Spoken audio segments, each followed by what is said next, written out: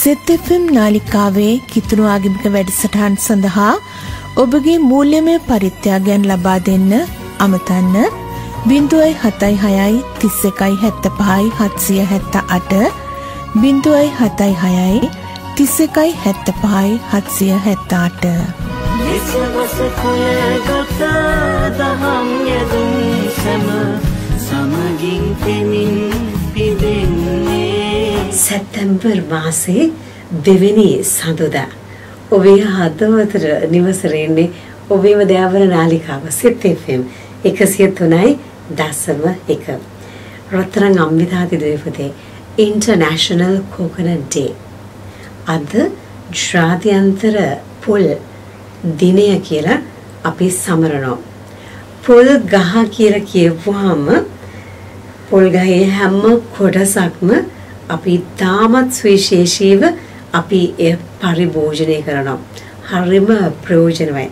ඉතින් මට හිතෙනවා පොල්වල තියෙන වටිනාකම ඔබ දන්නවනේ. ඉතින් පොල් කියලා කියන්නේ හරිම සෞඛ්‍ය සම්පන්නයි.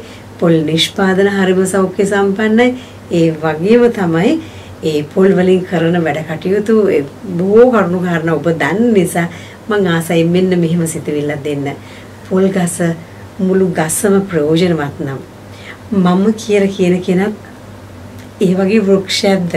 මම කියන පුද්ගලයාත් මගේ පෞරුෂත්වයත් මම කියන කෙනා මුළු ලෝකෙටම මගේ හිසේ පටන් පාදයෙන් නියපු තුඩු දක්වාම මගේ ආත්මය මගේ හදවත මගේ දෙපා මගේ දැස් මම යන්නේන ගමන් බිම මේ සියල්ල අනිත් අයට සුවදායක ප්‍රයෝජනවත් ආකාරයේ අත්දැකීමක් එකතු කරන දෙයක්ද කියලා අද දවසේදී අපි මෙනෙහි කරලා බලමු.